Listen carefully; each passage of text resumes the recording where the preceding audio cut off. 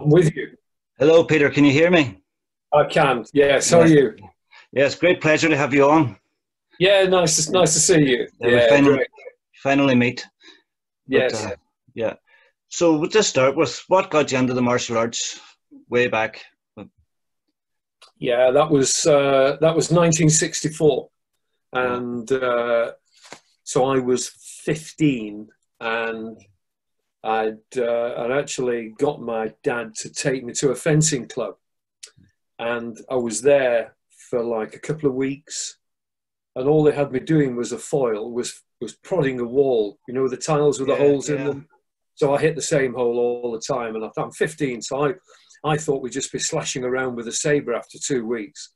So, so, and then literally about a week after I said, um, that's not for me, there was an advert in the Manchester Evening News which was something like, learn to kill a friend with one blow. So I thought, that's for me. That looks Went fun. down, and it was um, Karate Club run by um, Danny Connor and Martin Stott, which was in Manchester, back streets of Manchester, 1964. Uh, the club was called the Seidokan Clubs, and some of the Seidokan clubs are still going now, Emmett.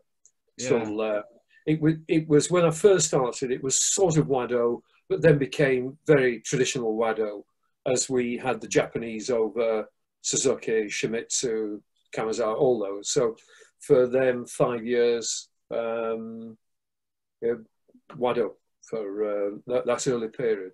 So that was the early six, oh, mid 60s, Emmett. Mid sixties. You went on then to uh, fight full contact. What Yeah, well- would that have been, uh, Yeah, so so the transition from so traditional Wado, so from probably 65, 66, I was then on the Great Britain and England squads, Yeah. so from the 60s. Um, but then in 69, most of the northern Seidokan clubs that were with the British Karate Association had a split from the south. We'd split from the Japanese. We broke from the south, um, and we then changed to Shukokai under uh, Kimura and Sensei Tani. And that was a that was a burning bush moment for me because that was all the dynamics, the double hit, kick shot, other other dynamic elements that hadn't been in in what I've been doing yeah. and it changed everything that I was doing at that time. Um, so that took us up to the 70s, and then it was in the mid 70s that I first fought the full contact side of things, yeah. and that was the very early. And to, and to be fair, that, those early days was full contact karate, not Yeah. full contact. It was not. It's a full contact karate. We were wearing the Junri shin guards and gloves. Yeah. Um, but before that, from sort of 70 ish, I'd been working the doors in Manchester. And from 71 to 79, I was about eight years on one door in Manchester. So I'd got that practical side of things that was going on in one box. I got traditional still going on. I've got the full contact. And I was also doing um, Chinese stuff like the Wing Chun because Danny Connor, who had been my original instructor in the Wado, in about 65 or 66 had gone off to the Far East, started in Japan, ended up in China, came back with all the Wing Chun connections, all the Tai Chi. So, and for me, working the doors then, that Wing Chun gave me that distance that I didn't feel I'd got with the traditional karate, if you like Yeah. um, being used to that competitive distance in karate. Not, you know, um, if you look at Kyokushinkai full contact, it happens a much closer distance than does say WKF, you know, the tip you're on type thing. Yeah. Um, so the Wing Chun gave me that that distance, that very close thing that was working really well practically.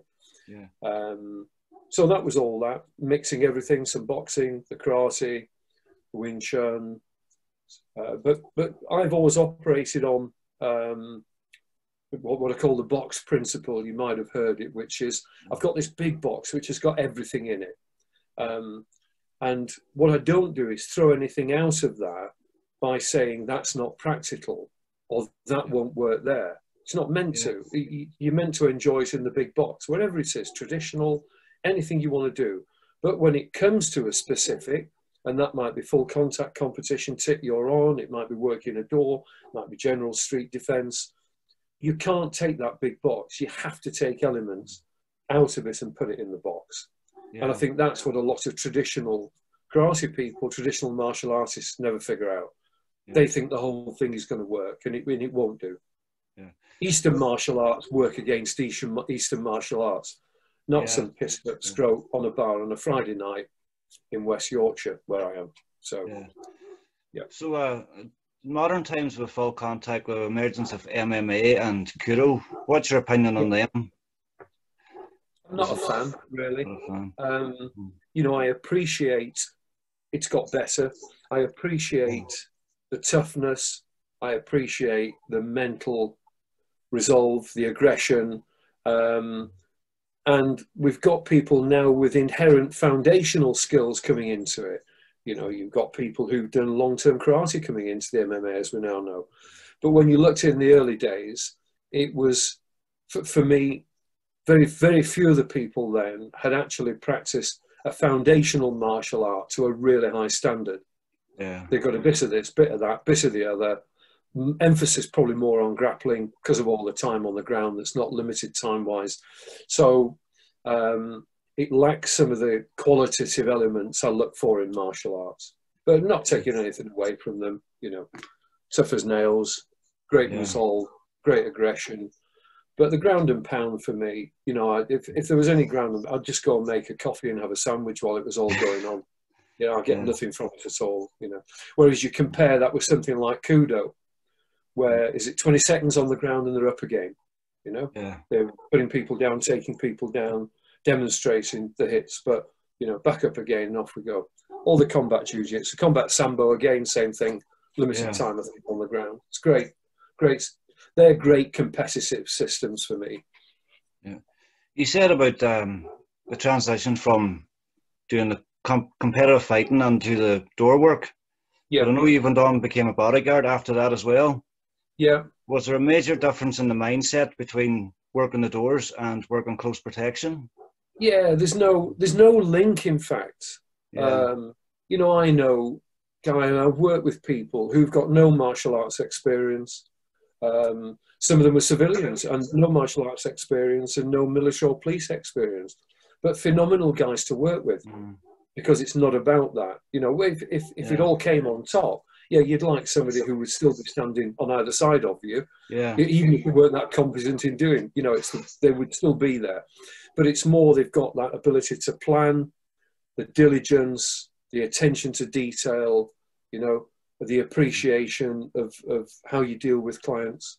Because all my vast majority of my close protection work is executive protection, which was working with uh, owners of businesses, international businesses, you know, so for example, not speaking out of term, but you know, looked after members of the Mars family, the Wrigley family, chairman of the New York Stock Exchange, you know, the chief exec of uh, Computer Associates. So it's all been at that level, um, yeah. which is executive protection. So most of that work is planning, it's logistics, it's getting people in good order to places on time. That's the challenge, really. Um, yeah. We're not fighting. We're not doing that with a knife between our teeth. Emmett and the, you know, yeah. So, um, do you think it's important in uh, self protection courses nowadays to add some of that on the situational awareness, the sort of uh, yeah ecology of fear, I suppose too. Yeah, well, yeah, you've got that that that that. Sure, you you can't take that away. Um, one of the problems with with the uh, self defense courses I see, it's a lot of it is martial arts in jeans first of all. So you've got people who do martial arts who take that big box and say, oh, well, now we're going to do self defense out of that box. Fucking bollocks. You know, you mm. cannot take that. And another, another self defense courses, you look at them and they're teaching fighting. Yeah. Well, self protection is about stopping something before it becomes a fight because a fight a fight's essentially you, you're in a casino you're just playing odds yeah. You can trip over a curve, somebody gets on.